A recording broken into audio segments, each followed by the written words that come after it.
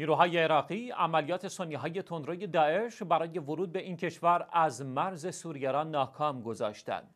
قاسم مسلح فرمانده عملیات نیروهای مدافع عطبات و مقدسات عراق الحشد شبی در غرب علمبار از امنیت کامل مرزهای این کشور با سوریه خبر داد. او گفت روز گذشته عناصر داعش با حمله به نیروهای ما در مرز عراق و سوریه اقدام به شلیک خمپاره به این نیروها کردند.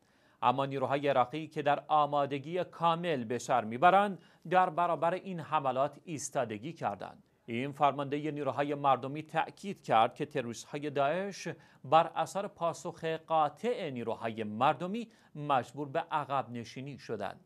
به ادامه داد مرزهای عراق و سوریه همکنون در امنیت کامل قرار دارد.